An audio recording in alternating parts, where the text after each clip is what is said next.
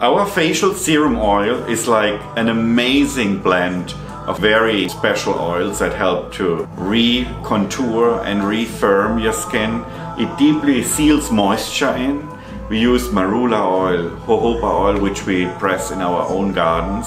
Very proud to say we have an oil press now and we have the freshest oils you can find on the market. It has white diamond essence in it, it has argan oil in it, and it's just amazing to blend it with all products we have if you like a richer texture or you can use it on on its own. It's just wonderful.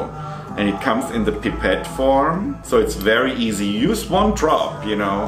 One bottle it lasts you like probably four or five months. All the products are very condensed and we only use cold pressed seed oils. So it has a full spectrum of vitamins minerals really really a powerful oil